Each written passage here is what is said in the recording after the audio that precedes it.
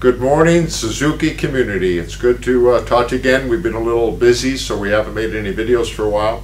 This one's going to be about Suzuki Samurai rear bumpers, and I'm going to introduce you to my favorite blue jig. We've made about 500 rear bumpers on this puppy, and they uh, come out real nice, and they always bolt on. We're going to start with a finished shell. These uh, come as flats from Minnesota. They get delivered to Arizona and then they get bent on a 100 ton press. This one's already been welded up and sanded. So we're going to make an LED bumper for you right now and show you how uh, we make it and how you bolt it on. Let's get into that. Before we begin, I, uh, you know, the welding, I want to show you these uh, squares right here. Uh, you've got a big square and a small square. It comes with all of our bumpers. Uh, we provide half inch grade 8 hardware. And you'll notice in the back of your frame here, you've got a big opening and a small opening. And this is where you're just going to simply bolt our bumper onto the bottom. Anything here in the middle, we've cut it off. We'll get you a close-up of that before we're finished today. But we've simply cut off the license plate bracket. We've unbolted all of the brackets for the stock rear bumper. So as you can see here, this is what it should be looking like uh, when you bolt on your rear bumper. So we'll talk about that after we're finished. Let's go.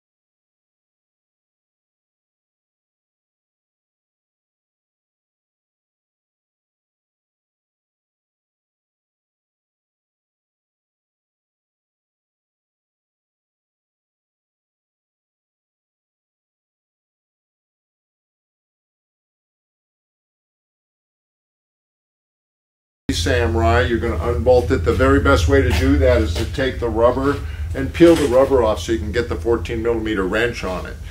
When you have it, you're going to pull the rubber off, but this washer is usually captive, it won't come off. And what we provide with every bumper are a 7 16 lock washer and washer for grade 8. And then you're going to go through our top tabs and bolt that into the nut that's welded into the frame. Now, if you have a heavy like tire carrier and you're carrying a lot of weight, we make a lot of tire carriers. If this bolt strips out because it's not the best bolt, we recommend that you drill this out and tap it for a 7 16 20 minimum, maybe even up to a half inch. The nut's welded in the frame, so you drill it out, tap it the right hole, and then you can make a better bolt up here. And of course that happens if you're on a lot of bouncy roads and you have a heavy tire carrier. That's just something that we don't give you the uh, tap and drill for, but that's how you do it. So again, you're going to get this hardware with each bumper. You're going to be getting the four bottom bolts with each bumper and that's for the LED and the stock. Now the stock lights, you're going to use the screws from your existing lights to put those screws back into our stock style bumpers. And then of course, if you have a tire carrier, um, we're going to show that in another video. So that's it for our rear Samurai rear bumper instructions. They're really pretty simple.